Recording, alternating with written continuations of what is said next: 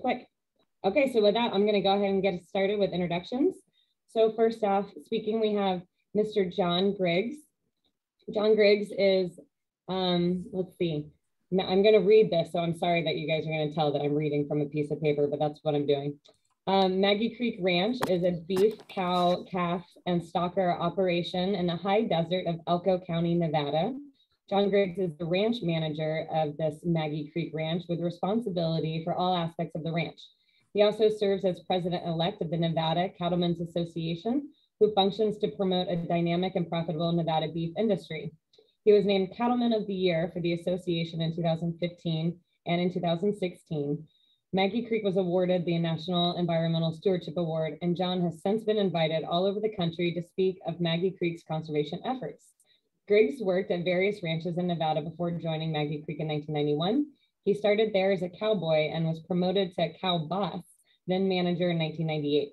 He has been active in the community, serving as an EMTI with Elko County Ambulance Service, serving on various resource or agricultural related advisory boards, and serving youth sports 4-H activities. Griggs lives at Maggie Creek Ranch headquarters west of Elko with his wife Shelly and their and their two children Wyatt and Mackie. Thank you for being here, Jon. Um, next, we'll be hearing from Tracy K. Schohr. Tracy Schohr grazes cattle on public and private lands along with Ryan Embach. She is a sixth generation livestock producer and is a partner in her family's multi-generational farm that produces rice and walnuts. For a decade, Ryan and Tracy have worked with nonprofits and agencies to use grazing as an, as an, an integral part of land stewardship in Northern California. They graze cattle in conjunction with promoting oaks, vernal pools, burrowing owls, and on sites with purple needle grass restoration and wetland enhancement with beavers. Tracy has a master's degree in horticulture and agro agronomy, agronomy, sorry, from the University of California, Davis, and has a bachelor's of science degree from California State University, Chico. Since 2017, she has served the University of California Livestock and Natural Resource Advisor for Butte, Plumas, and Sierra County. Schohr is also a graduate of class 39 of the California Agricultural Leadership Program. Thanks so much for making it, Tracy, and nice to meet you. Um, and then last on our panel, we will be hearing from Miss Betsy Stapleton. Um, originally in the agenda, it did note that Betsy was the chair of the Scott River Watershed Council. However, she recently stepped down and she's representing herself today as an individual and a rancher. Betsy is a retired nurse practitioner and her husband, Michael, own a, own and operate a small cow calf ranch in Siskiyou County. Their property lies on French Creek, one of California's most productive spawning and rearing streams for coho salmon, a listed species. French Creek surface water, along with groundwater, supplies irrigation to the ranch. French Creek also supports a population of beavers who actively dam the creek and irrigation ditches, chew down trees, and increase ground and surface water. Betsy and her husband have implemented many restoration projects for the benefit of coho, including beaver dam analogs. These, these diverse factors place Betsy in a position to understand many of the complex issues around beavers, water, fish, and the regulatory environment. And thanks so much for making it, Betsy. I know you're also busy as the other panelists are, and it's nice to see you again, even if it's on the screen at this time. Um, so I'm going to go ahead and pass it off without any further ado to Jon Briggs. And the last time I tried to allow you to share your screen, I didn't see the option pop up. So Nancy, if you're um, still the main host, you might have that ability. I was hoping as co-host I could do that. Unless Jon, do you see at the bottom, do you have the option to go ahead and share screen? Maybe everybody's allowed to share screen and that's why it's not giving me the permission to permit you. Good morning. So I think Nancy just enabled it. I think we're, I think we're ready to go here. Fabulous. Thank you. Thank you. How's that? Wonderful. great, great to be with you all this morning. Thanks for having me. So, if you were to jump on Interstate 80 and head 10 hours east, you'd probably make it to Sacramento, and then another seven or so, another seven or so hours, you'd be in this part of the world.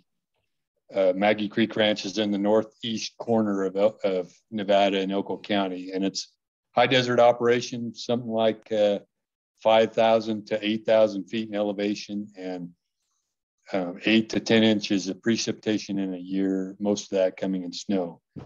We are a beef cattle operation uh, Angus based, uh, moderate framed, 11 to 1200 pound cow in her working clothes brings home a 500 pound calf in the fall. water is our limiting factor, not only to grow forage, but also for stock water. Um, it takes about 100 acres to run a cow in this part of the world. When I when I hired on to Maggie Creek Ranch as a cowboy, early 90s, this is what Susie Creek looked like. Susie Creek runs down through the heart of the ranch. And what's remarkable to me about this picture is that it uh, it has water. What I remembered of Susie Creek was being dry for most of the year. Um, this must have been early spring or late fall when when this picture was taken. But when you look at that picture, you think, what what is the value there for anybody? And unless you're a, maybe a gravel pit operator, there's not much value there for anybody, especially if that water is not there. So, so we decided to make some changes. We changed our grazing regime and and sort of eliminated hot season grazing.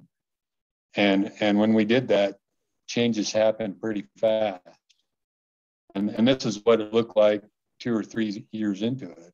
Uh, the, the, the creek itself narrowed and cooled, and we started growing riparian vegetation. And, and we started replacing this upland vegetation, sagebrush, with, with willows and, and um, riparian grasses. And then the star of our show showed up. Beaver, when we created the habitat, beaver came along, and I I I, I didn't have much experience with beaver other than the traditional experience in that, you know, we don't want them in our irrigation systems. We don't want them damming a culvert in a road, those kind of things. So when they showed up, I, I didn't know what to think. I thought, well, they're going to undo all the work we've done. They're going to, they're going to consume all the willows that we grew. They're, it's, it's not going to be a good thing. But I couldn't have been wronger they, they made places like this.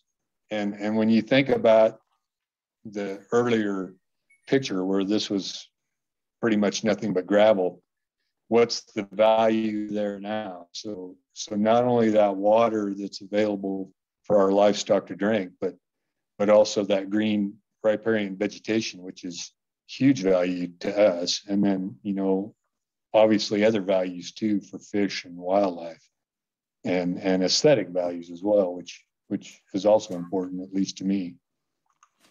And places like this, you know, same same thing, where where a lot of great green uh, riparian vegetation at a time of year when we don't have it. Um, water available for stock water.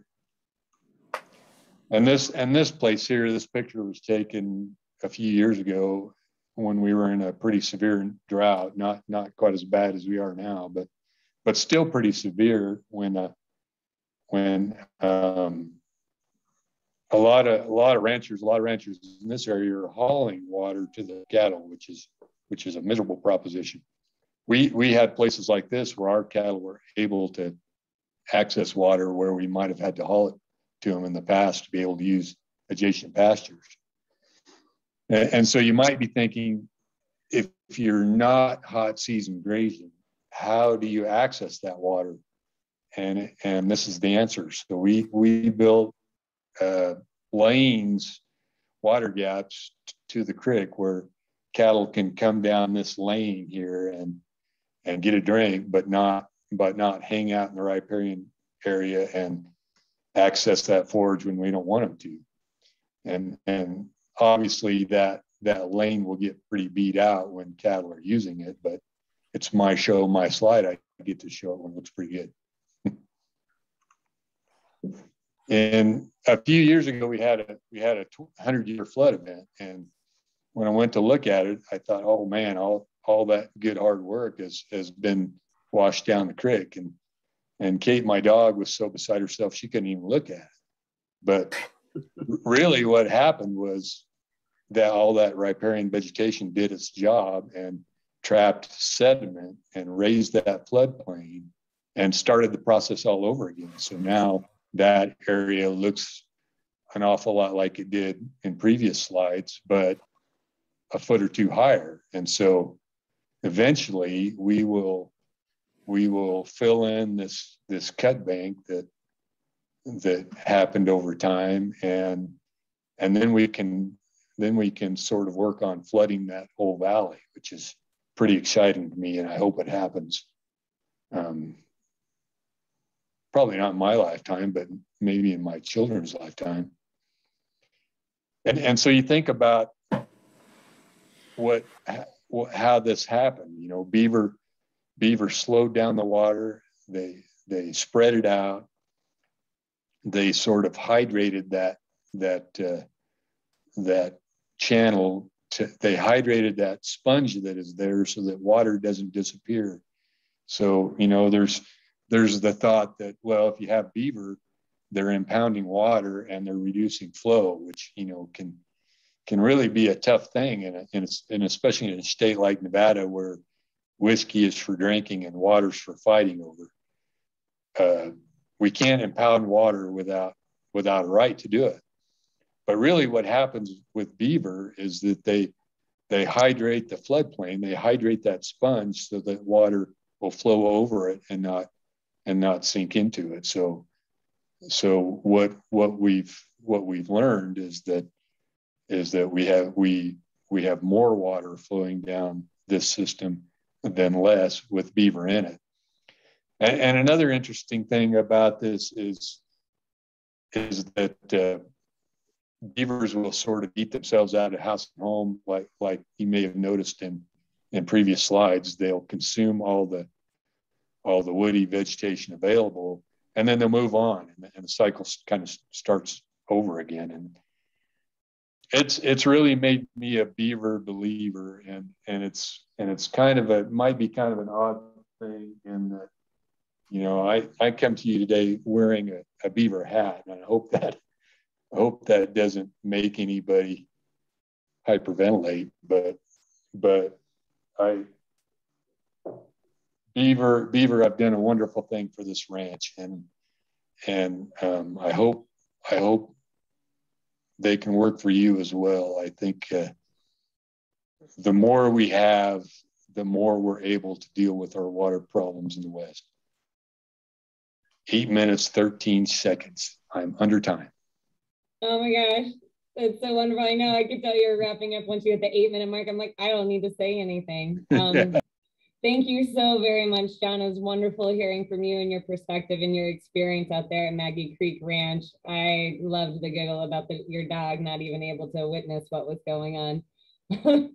Thank you again and again. And again, just for folks that showed up um, during that presentation, we are going to be holding um, and waiting until we hear from all three of our wonderful panelists before we open up to Q&A and comments. So with that and without further ado, um, I would like to pass it off to Tracy. Okay, can you hear me okay, Sarah? Yes, thank you for checking. Okay, okay. let's see if we can get. Um,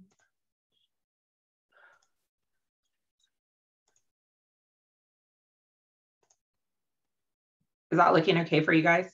Yep, just want to go into um, slideshow and hit play. So it should, does it switch in for you guys? Well right now i can see your thumbnails on the on the left margin although i can't like really really see them. I just see them listed. so i put it into preview mode but now it's not doing anything. Oh great. Well this is okay too tracy. Don't worry because it's not like okay. not like when you can see because i can't see screen. you or anything. It just went full screen to huh that's weird. I wonder why. Can you still see it? Yeah yeah okay. absolutely. All right so everyone, my name is Tracy Schohr. Um, Sarah introduced me earlier. Uh, just to give you, uh, I'm here representing our family operation as a ranch. Like she mentioned, I do have a full-time position with Cooperative Extension, um, working as a livestock and natural resources advisor, but do spend weekends, holidays, vacation days, um, uh, participating in our family's farming operation and along with my other half, Ryan, um, in this picture in Colton. So Ryan did help me create this picture or presentation today and we went through it last night a few times just to make sure that we had all of the perspectives of how beavers have been a part of our grazing operation um, at one of the places that we lease in Placer County. And so um, as we recall, this is like the first picture that I can find of beavers when they first showed up in about April of 2016. And like Jon was talking about, it was like we called the the land manager and we're like, hey, you know, for the land trust, and was like, do you want beavers there? Like, are we concerned? Because they had warned me about not running over the new trees that they had planted in the floodplain with the four wheeler when we're moving cows and we had some restoration sites and we didn't want them and i'm like so i think it was you know that balancing act of where do beavers fit in and so this is a picture of one of the feet first on its own um, beaver dams at the parcel and uh, it was kind of the impetus of starting a bigger partnership with the partners program for U.S. Fish and Wildlife Service. And I think Damien, who is now the partners biologist in your area, had actually recommended I share um, our perspectives as ranchers um, to the group. And so here is a picture from Damien of the pre-project site. And as you can see, um, the beaver dam that I showed you is actually towards the bottom of the screen. It's not on the screen. In 2016, that later on that same year, they put in a beaver dam that you see marked there in the middle of the screen.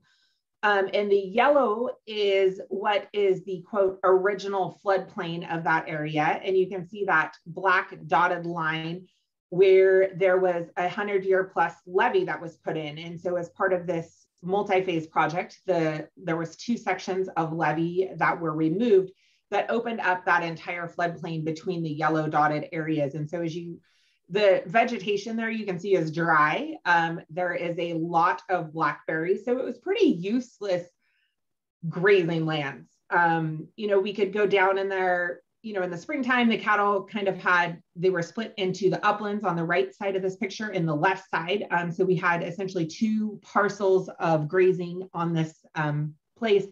And this floodplain was dry, annual vegetation, not um, a wetland. And so uh, the original, it was called, um, the old riparian fencing is there in the red dots um, that was attempting to keep the cattle out of the floodplain or out of the creek area, which just limited access. And as part of this project, that area was redesigned to create more of a riparian pasture. And so the fencing was then moved as part of this partners project up into the uplands. And there's a, you can see right there, the old fencing up on the levee and the new fencing that is in there. And then just from a different angle, we do graze this as part of our grazing regime. And I'll talk about that here in just a little bit. Um, but this is what we look like now. And it's a significant difference in terms of a single channel that was flowing through the property to multiple meandering courses um, and a significant change in the vegetation. And so just to take you back to what it did look like um, as a pretty dry area that was flood controlled with the levees to uh, what we have today um, as part of our grazing operation. And so uh, some of the wins that we see for ranching is that we got sub irrigated pasture as part of this. And um, one of the neat things about that is, is on this annual grazing lands, our grazing season is typically somewhere November-ish, depending on when we first get our rainfall um, in Placer County to, and it's right on the valley floor. So the elevation there is just rolling foothills. Um, it's not, it's pretty much flat land is what I would consider it um, and some high quality forage at the end of our season. So we are fall calvers. So we calve October or August, September-ish, um, and then we wean those calves off in April, May. And so one of the unique things about this is we're actually able to graze that site. And it's one of, um, as part of our grazing program in usually about mid to late May, we will put the calves in there for, you know, 10 to 14 days and then we will wean them off and sell them. And so they really come off very flush. Um, they have a great coat of hair. They're fat. They're happy. Um, and so it's working as part of our livestock production system. And also we're able to have a longer grazing season. So then we'll pull the cows back out of there, rest it a little bit. And before we ship our cows north um, that are on this parcel, go back up to Klamath in Modoc County, um, we will put them back in there for another 10 to 14 days, depending on vegetation. And so we will flash graze it again um, with the cattle back in there. And so I talked about how we changed those fences. And so one of the other parts of this is we feel we have better livestock distribution. And so there was not great fencing that was keeping the cattle out of the riparian area. But as part of this project, um, working with the partners program, was able to put in um, some more reliable fencing um, that help can help push the cattle into the uplands more. And so um, controlling their access into that riparian pasture, but also creating better distribution across the landscape. Uh, and another thing to think about, this is a conservation piece of property, and so there's no hunting allowed on it. But uh, here you can see some pairs of ducks that were jumping up yesterday morning when I was there. And so a potential option for doing projects like these for ranchers could be an alternative income with hunting or for you know self and family use if that's something that you like to do as hunting um, could be part of the outcomes of a project like this.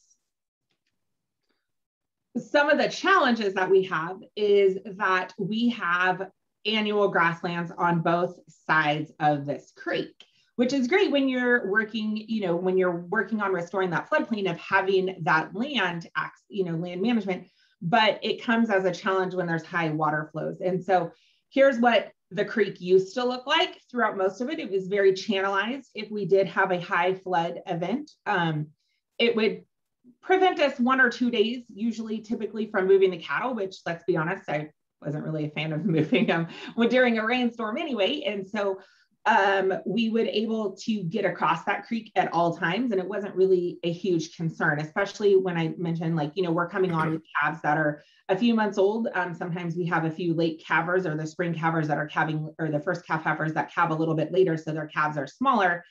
Um, that can present challenges um, when you change the, you know, floodplain and what it looks like there in the depths. Um, and so there's a picture of what, how we used to move that, or we still move them. Um, and there's a picture of them going through the floodplain coming from one side to the other. And now this is what that area looks like. It's very marshy. So it's a different dynamic um, in terms of our management. And so it really does capture a lot of those storm um, flows behind the dams and in the floodplain. Two minutes. Uh, okay. So just a few quick things is to think about is the challenges for ranching. And so I mentioned the high flows. Um, another one is using the low bid local contractor. And so as I'm a big fan of using local contractors, they can work great. But this picture right here, the contractor that they chose for the low bid, that was local, decided to make the float for the water system out of a old plastic milk jug with spray foam. And it didn't last very long. And so I think that's just the tip of the iceberg that I share with you of when you're picking a contractor is to really think about, you know, the challenges that can present long term. And so another one is using, you know, it doesn't cost that much more to do four prong wire that has a little bit more strength. We got concerns when cattle were in the riparian area when they didn't want them in there, and they actually weren't our cattle. But when you have two bulls and bulls fighting, um, Lower tensile strength barbed wire doesn't keep the cattle where they need to be. And then our electric fencing, um, there were some challenges initially with that where the insulators weren't large enough. And so it was grounding out. And so I think just taking into consideration that when you're doing these projects with the infrastructure that comes along with them is making sure it all meets up. And so uh, this is the watering system that has not been in existence uh, for a few years as part of the project, but it was um, and what other challenges? we did lose some forage. We talked about gaining forage, but it's just a matter of perspective of how you look at it. And so this is what the that area looked like with some cottonwood trees down in there. And this is what it looks like yesterday. And so you can see that just a change in differences. And I have like three more quick pictures, Sarah, if that's okay. Um, and that, when I talk about how deep it is, that is a T-post. that you can see there in the center. So this is what we're trying to cross cattle with. So it's, you know, we've we figured out some options of where we can cross better below the beaver dam analogs. Um, so it's changed where those fences were, where our gates used, um, and worked with it. And so just some broader thoughts. Um, Jon mentioned some of these about what are the water rights on the property? Um, is it considered irrigated pasture? Are you impeding flows? Um, and then also just is it a fit for the ranching operation? And so our operation, um, it I think it's a good fit for. We talked about the challenges and options, but if you don't have enough uplands, you can see how an entire area can be inundated and then you've lost that grazing value for it. And so I think of making sure of when you're doing these projects are really supporting where you put the dams at or facilitating where the beaver dams um, go with the analogs um, is thinking of how it fits with that livestock operation as well. And uh, just what are the downstream threats? Um, so Jon mentioned how, you know, what would happen during the storm when they came through. And that's still a concern that we have is, you know, we have a lot of water backed up. You can see how deep it is. What happens if there is um, a break in this? How does that impact downstream users? And just, just things to think about when you're working on these projects and having all the partners on board. And so there's a picture of our uplands there. So hopefully pretty close to your time. Yes, not too shabby. That was a lot, a lot jammed in there. So thank you so much for sharing all that. Is that Doty Ravine? That is. Nice. Yeah, I got I got uh, the opportunity to hike around there a few years ago for a workshop, and it's yeah, it's monumental uh, how that landscape has changed and being able to like walk through there. Um, well, thank you so very much, Tracy. Super appreciate that. Um, again, we will have time for for Q and A. We have one more speaker, and certainly last but not least, we have Betsy Stapleton, and I will be sharing my screen for Betsy um, with her presentation. So you just let me know when you want me to advance. Let me pull this up. Let me get my timer going. All right, and see. Slideshow from beginning. Is everybody able to see? Let's see, display. Sarah, yes, but again, it has the thumbnails on the side rather than being full screen. How about that? That's better. Thank you. You're very welcome. Thank you. All right, take it away. Um, though we're only getting half the slide. Maybe that's how I. Oh. Shoot. In any case, All right. So um, there I am. I'm Betsy Stapleton, and um, I'm in Siskiyou County in Northern California. And on the left is a picture of our small cow calf hay operation. And as Sarah mentioned in the introduction, we're dependent on water rights for irrigation. And that includes both surface water from French Creek there that I'm showing you a beaver dam on. And in addition, we have groundwater rights. And as all of you are probably well aware, both of these issues are um, under a great deal of pressure at this time with the impending groundwater regulation and again, surface water uh, being in diminishing supply with the drought. Um, go ahead to that next slide. I, um, my husband and I are not economically dependent on our ranching operation, but we have enough um, exposure to all the issues um, involved in irrigated agriculture that um, I have an understanding of it, even though it's not our livelihood. I am also what I would call a passionate naturalist rather than um, an environmentalist. Um, the environmental world, the natural world, is of tremendous interest to me. And there you can see me happily sampling coho salmon as part of the Watershed Council work. Go ahead to the next slide, please. Are you guys able to see everything now? Yeah. Okay, great. Just want to make sure. I have. I also have techie issues with this stuff. Yeah, that's why I'm having you do it. It's stressful for me. Thank you very Little much. did you know. um, as as that last slide was titled, there's always a ba balance between um, natural use, uh, extraction, whatever you want to label it as, and natural use uh, protection and balancing those interests on the working landscape is pretty darn complex.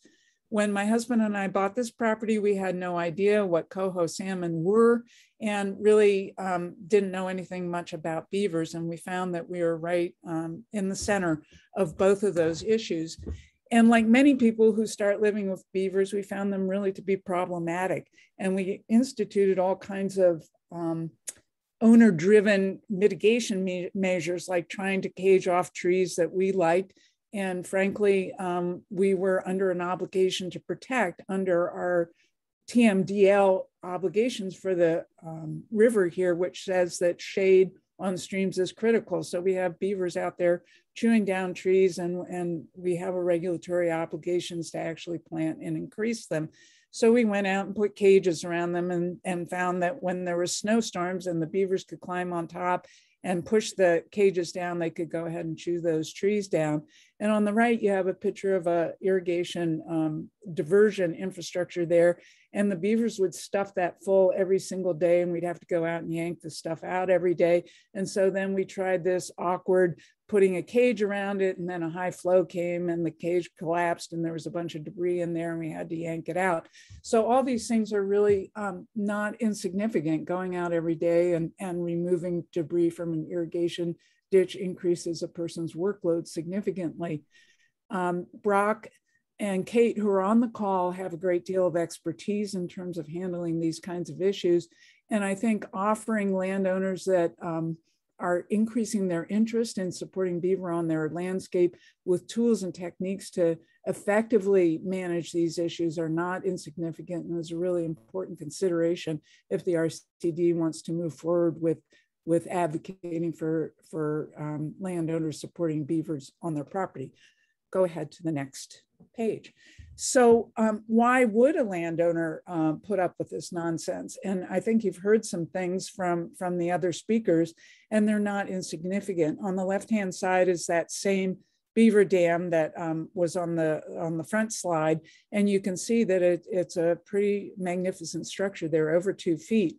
And those beavers, uh, wanting to provide data as to their value, um, built their dam right on top of a network of groundwater wells and a surface water um, measuring device that we had in stream. And on that graph there, you see the um, water surface elevation from that um, measuring device on 2020 and now 2021. 2020 is that blue line and 2021 is the red line. And you can see that um, as we all experienced out there, 2021 was at an even worse drought than 2020 and the decrease in, in surface of that stream, uh, for which I am dependent for surface water diversion, as are many others, uh, was going down sooner and faster than in 2020. And that ended up in a curtailment for our valley where absolutely no irrigation from ground or surface water could occur. So you can see this is not um, just an ecological issue, it's an agricultural issue.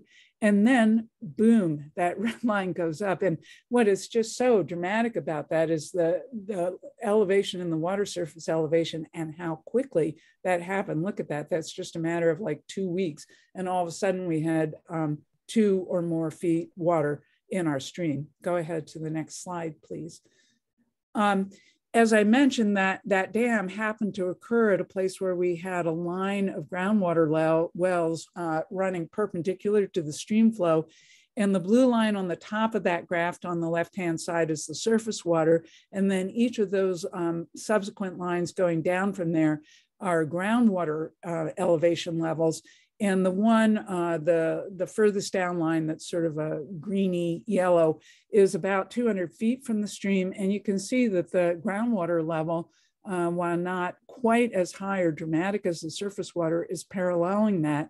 And it happened in um, fairly um, close uh, time sequence. So not only did we get uh, surface water, but we had all that groundwater storage, which um, got mentioned before, what a critical resource that is. And again, uh, we couldn't thank the Beavers enough for deciding to build right on that data point. So we had pre and post implementation data, which is pretty unusual for a beaver dam. And then on the right-hand side, there's just a little graphic elevation of what the stream water, uh, surface water elevation was prior to the dam. And then very shortly thereafter, in that couple weeks time, we had all that additional water in the dam. And I will point out that this really was the only water uh, in the valley in which juvenile coho were rearing. So um, think about the asset that that's providing in terms of preserving that incredible, incredibly um, limited and important resource. Okay, go to the next slide, please. Um, so in um, locations where you don't have um, beavers, um, beaver dam mimicry or beaver dam analogs are a real option. And as mentioned, this has been done in our valley.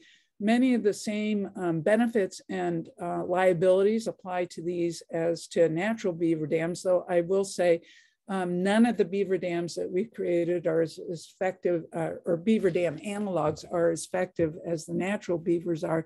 They just do a better job. And they do it with materials you wouldn't believe, just little tiny sticks and stones and mud. And they're just at it all the time as, as they're very busy and they're out there repairing and maintaining these structures um, more or less continuously. So if you have an option to use beavers or partner with them, um, I think it's much cheaper, easier, and more effective than the beaver dam analogs. We have had beavers come in and start maintaining and using the beaver dam analogs once they're implemented. So it can be a real um, part, partnership and syner synergy there. All right, the next slide. And also um, just a note, two minutes. Okay, um, so Sarah made um, uh, asked really to have some of the difficulties um, of living with beavers and using them outlined, and I mentioned some of the kind of practical on the ground, but there are the legal and regulatory concerns that people um, have mentioned previously, and one is that um, there is um, regulation saying that you should not impede or tend to impede fish passage, and while most of us that have lived with fish and beavers and beaver dam analogs um, believe that when there's enough water for fish to go upstream, these structures are easily passable. This isn't always clear to the regulatory authorities, and they um, really have a lot of angst around this issue. Um, the issue of, quote, losing water or impeding downstream water or decreasing water to your downstream water users has been raised. And this can cause conflict with your um, downstream neighbors. Um, so if you're considering implementing beaver dam analogs, I really encourage you to um, proactively outreach to your downstream um, neighbors and also to consider implementing um, after an irrigation season.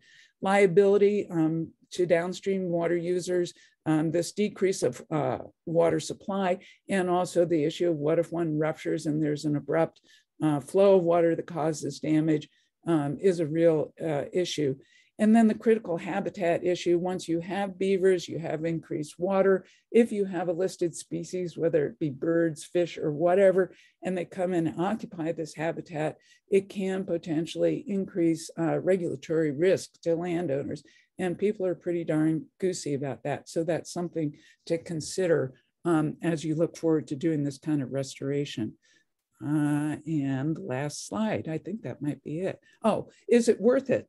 Um, so it's not insignificant, and there are issues to consider, um, particularly in a smaller uh, landscape setting. Uh, if you have a huge ranch and all the issues are sort of your own to own, uh, the concerns about how you interface with your neighbors um, might be less prevalent in a smaller land setting, or if there's urban uh, issues. These are way more complex and demanding issues.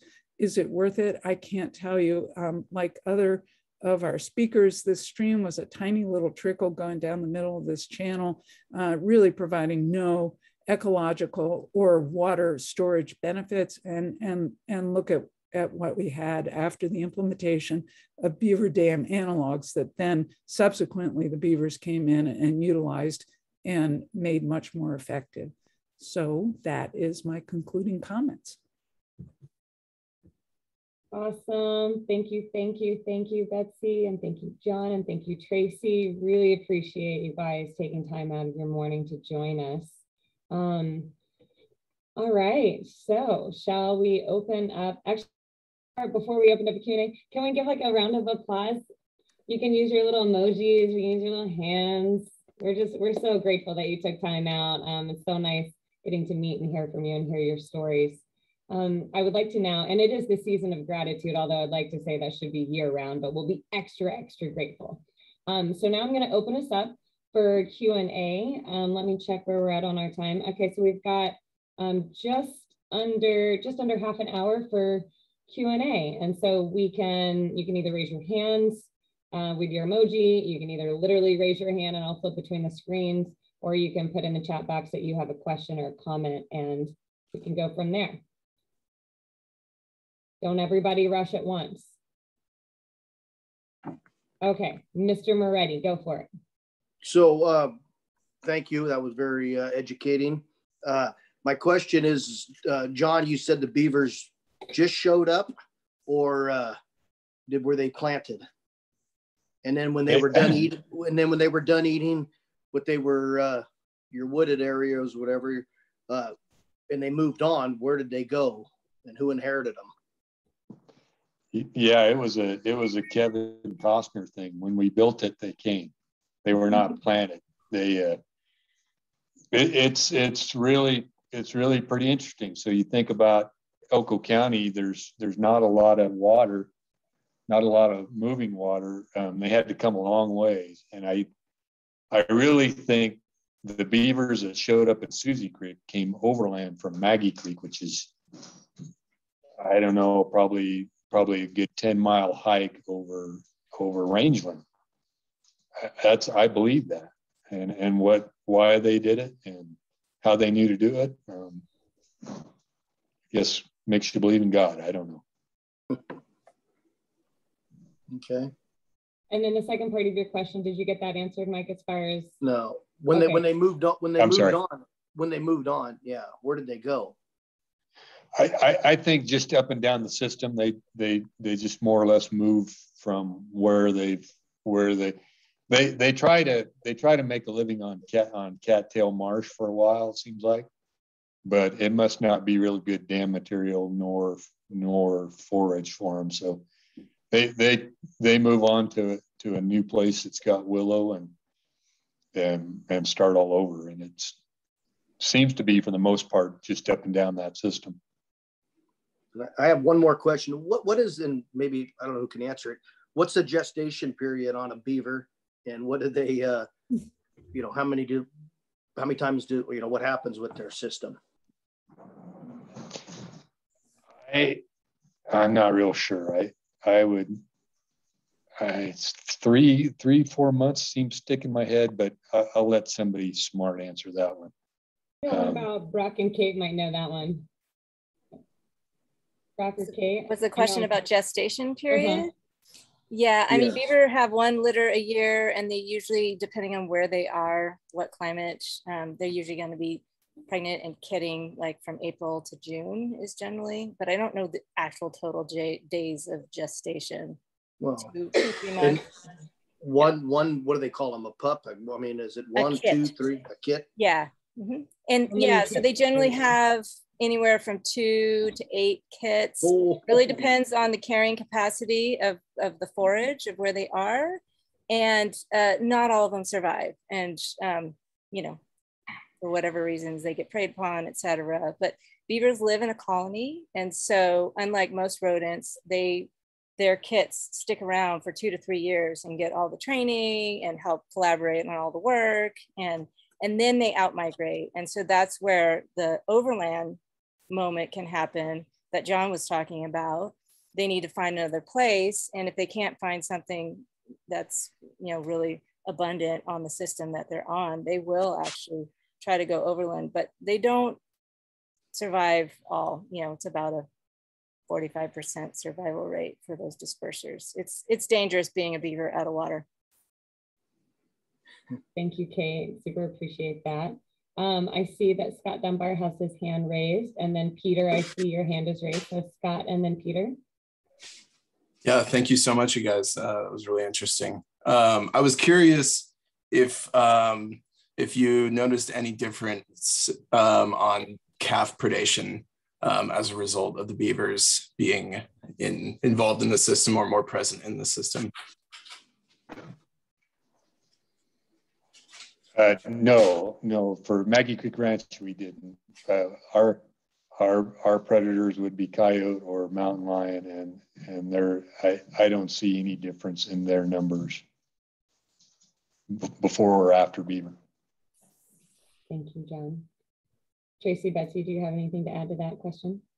We didn't have any. We are like wildland urban interface, I would say, in the valley. So like yeah. there's a cemetery on one side, a couple ranchettes on the other side, a horse facility half mile. So I we didn't see anything. The only challenge we had was, like I said, is pushing them to get across to use the other forage. But you know, mm-hmm. we take that into consideration when we go to move them and you know, as part of our management plan, um, you know, to limit that potential risk. But no, there was no changes in predation. Yeah, and just to note, um, where Tracy's uh, ranch and this operation is, is taking place is just outside of Auburn, up by Grass Valley, um, for point of reference. Betsy, did you have anything to add to that with Scott's question? No. Okay, thank you. Um, next, Scott, Peter- Scott, I'm sorry, Scott, I'm Okay. curious if you had experience here. Do you, do you have experience with that? Um, not personally, but um, I I definitely had heard of some stories um, with the Forest Service last summer. Um, I was up in the Shasta Trinity.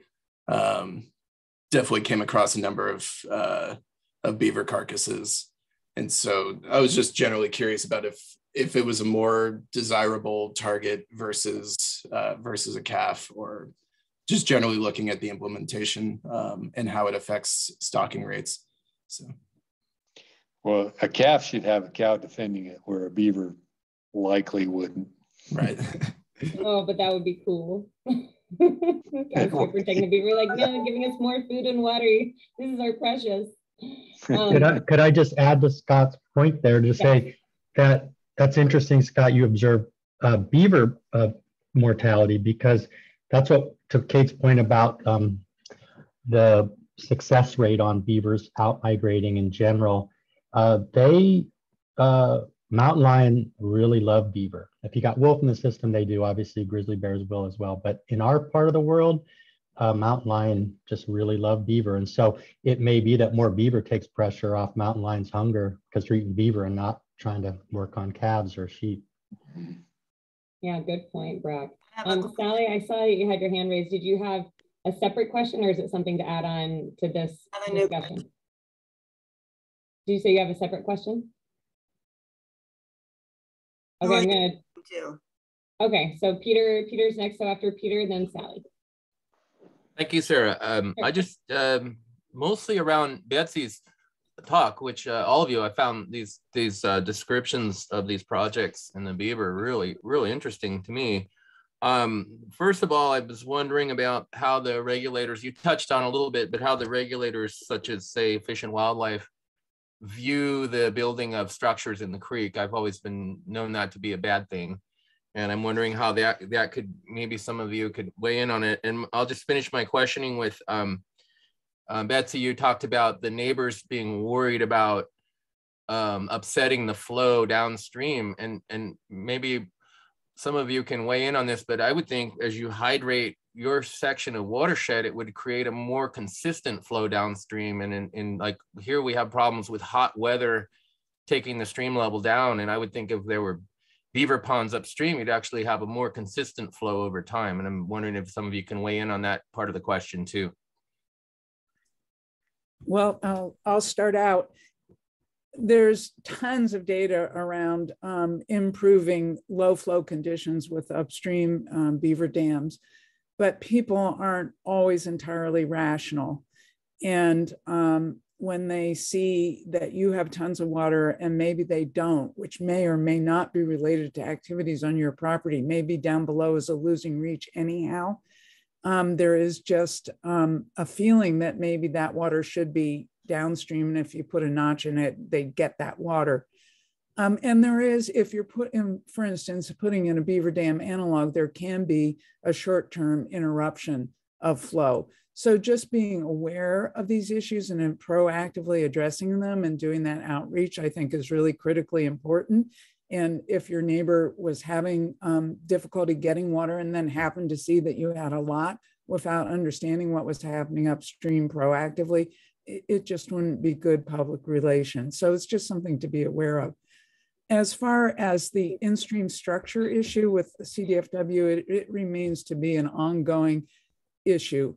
And um, there's been a tremendous amount of outreach uh, and engagement with them to try and bring them on the slow it, store it, sink it um, journey.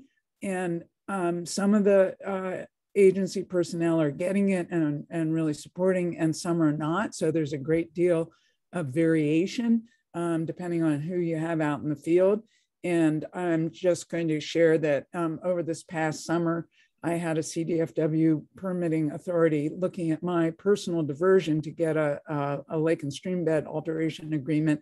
And there was a downstream beaver dam. And they just strongly felt that perhaps I had constructed that structure to push water into my diversion. And so there was a great deal of discussion about that. I had to get NOAA out to certify that it was indeed a natural structure rather than something I had created.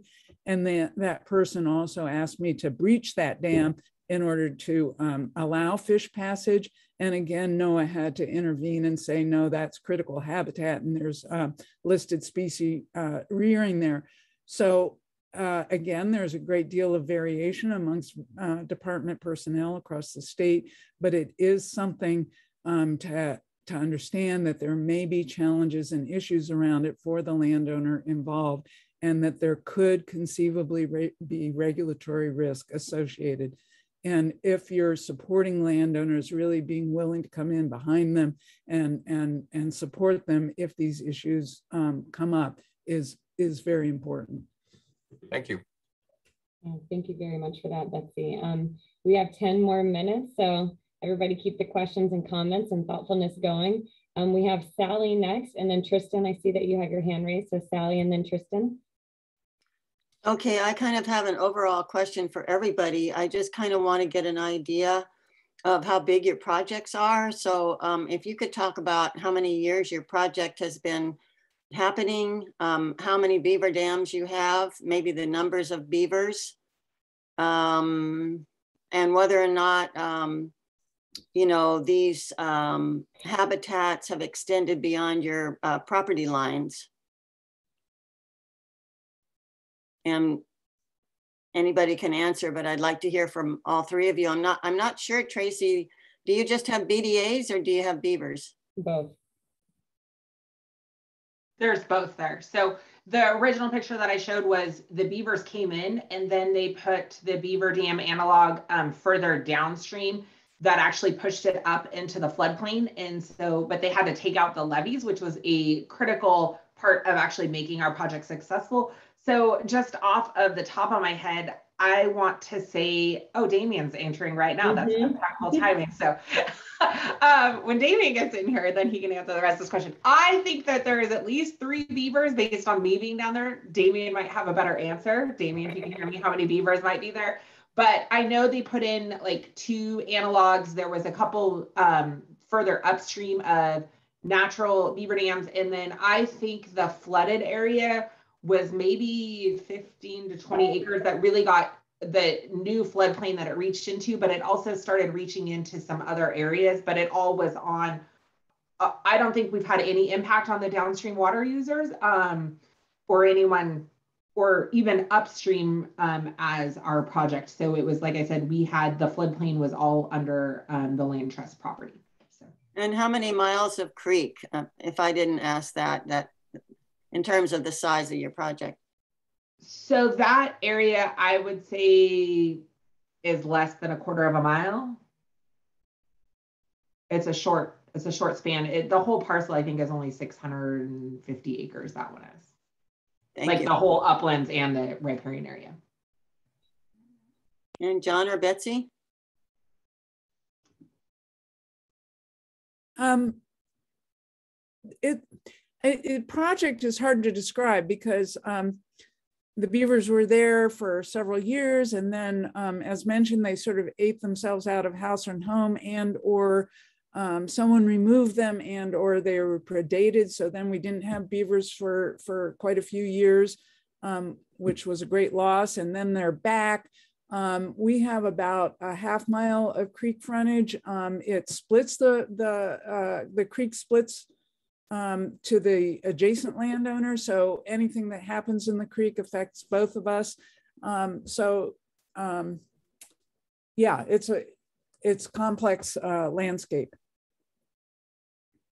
Thank you, Betsy. Jon, do you have anything to add?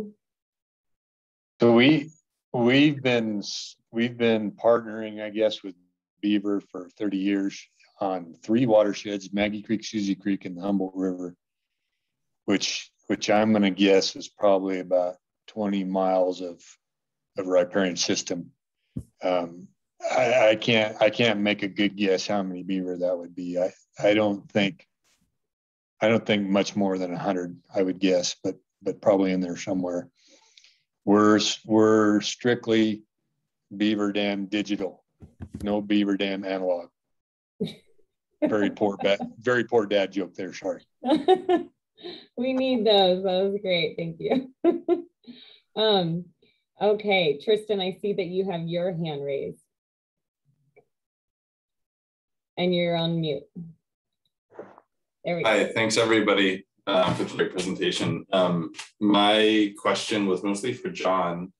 Um, have you had neighboring ranches uh, follow suit, um, take steps to do that revegetation by removing cattle for the hot uh, season, or just start asking you about um, how they can bring more beavers onto their property, or or are they just moving on now that they're uh, nearby? I realize you have a very large ranch. Thank you.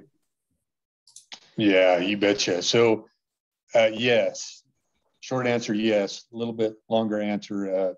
Uh, in in the Maggie Creek drainage, we we actually partnered with with our two neighboring ranches about at the same time. Um, and then and then a Susie Creek drainage, we it, it, was that model of of our upstream neighbors saw how good it was going for us and and and sort of made made the same changes that we did. Um, yeah. Awesome. Thank you for the question, Tristan, and thank you so much, Jon, for sharing your experience on that. Uh, Mr. Rubenstall, I see you have your hand raised. Yeah, thanks. Um, thank you all for the presentation. Really neat to hear from such different um, areas, um, different ecosystems. Um, I think one of the bigger conflicts that we find in this area, or would find in this area, is, and it's been hinted at in most of the presentations, is with infrastructure, culverts, uh, stream crossings, fence lines, all that kind of stuff. So I'm wondering if um, anyone on the panel or, or all of you could kind of speak to how you overcame some of those challenges. With, um, I know Betsy, you're kind of talking about that one pipe that kept getting clogged, and um, just if there's low hanging fruit or some sort of solutions to um, you know, if when these critters move in and, and start building their dams, what um, what are some easy ways to work through some of those um, conflicts that may come with existing infrastructure? Yeah, and I want to um, open that up to the panelists as well as Kate and Brock and Damien too, who have experience with that. So take it away, whoever wants to start with responding to that. Thank you for that question, Rubenstall.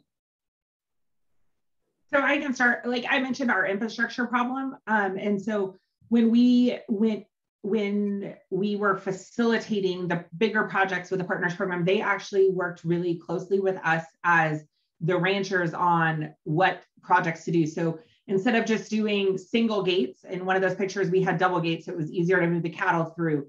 Um, you know, we put in some a water gap in one area that they're now able to drink from. And so in we really talked about what was the grazing plan as we were creating this riparian pasture versus a more of a riparian exposure exposure. And so I think because we were at the table, um, we did one of the dam removals, um, actually had the opportunity to bid and use that as alternative income for our operation as well. And so I think being at the table, being asked to be a part of it, being part of the design is um, an important part, especially if you're bringing in outside partners. And so and then um, they did, I know, talk with the other neighbors um, as part of our project of what we were what we were working on. And so it was, I think that communication was the key on it, and having us at the table. And you know, because it wasn't, it was ground that we lease. Um, it wasn't our own one, so I think we're in a little bit different circumstances. But we did have external partners coming in, and so we were asked to be at the table. There was regular meetings or text messages and emails back and forth, so we knew what was going on, and it wasn't a surprise. Well, thanks. Anyone else want to speak to that? So, uh, thinking about fencing, I think I think Tracy showed pretty well that what, what our experience is is that you know if your if your riparian system is adjacent to to pasture or rangeland that's that's going to have dormant season grazing, if you build that fence right on the green line, you will fail. I, I, I like to say that the best fence keeps a cow from going where she really didn't want to go anyway. Um, so if you build it right on the green line, you're going to fail. So so build it. I, I think I think Tracy kind of showed that that's what they did. They moved it somewhat off the green line and and had better luck with it. Um, we had a really similar experience that Betsy talked about with with a beaver that would plug a culvert nightly, and and there's there's structures that you can build that that uh, will prevent that, but but in my experience, that beaver makes a really good hat. oh my gosh, Jon. Um, Kate, I saw that you turned your mic off for a second, and I do want to be um, aware of our time. We have a minute left, so this will be our, our last question being answered, and then we might want to have just some closing remarks if anybody has any closing statements to share. But Kate, I wanted to give you an opportunity to, to answer Eric's questions. Thank you. Yeah, and I'm just so excited to be part of this panel. And Jon, I've been following your work for years and am a big fan. So really grateful for you taking the time and just yeah, it's you're such a fantastic spokesperson for this process. And so, you know, Betsy showed some of the other strategies. You, can protect your vegetation with fencing, with hot wire. You know, there's all these different strategies that have been.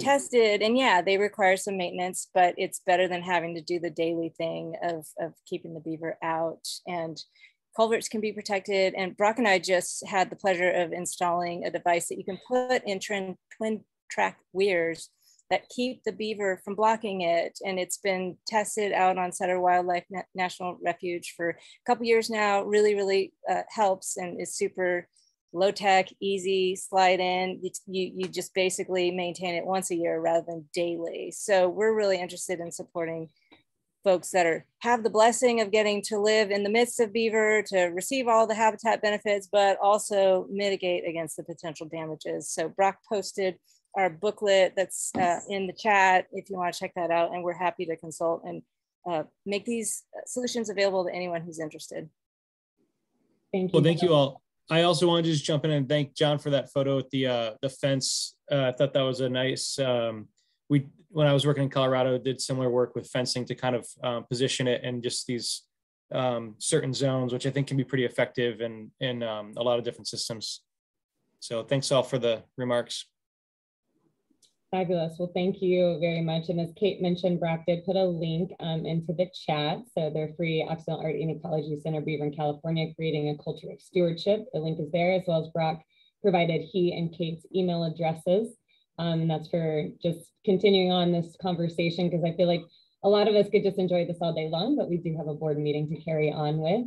Um, both of their email addresses are, are there. Um, everyone who's here, you're welcome to stay and, and enjoy the rest of the board meeting. Um, you're also welcome to head on back to the rest of your day. I just wanted to give a huge, huge, huge big thank you from the bottom to the top of my heart for the panelists and for Brock and for Damien and for Kate for showing up this morning. I really appreciate your time. I really appreciate you sharing your experience. And, um, you know, here's one good thing about Zoom where we're all able to be together and sharing this information, even with Jon over in Idaho. We got Tracy up in the foothills. So um, thank you so very much. And um, yeah, hope, hope that we get to continue this conversation into the future.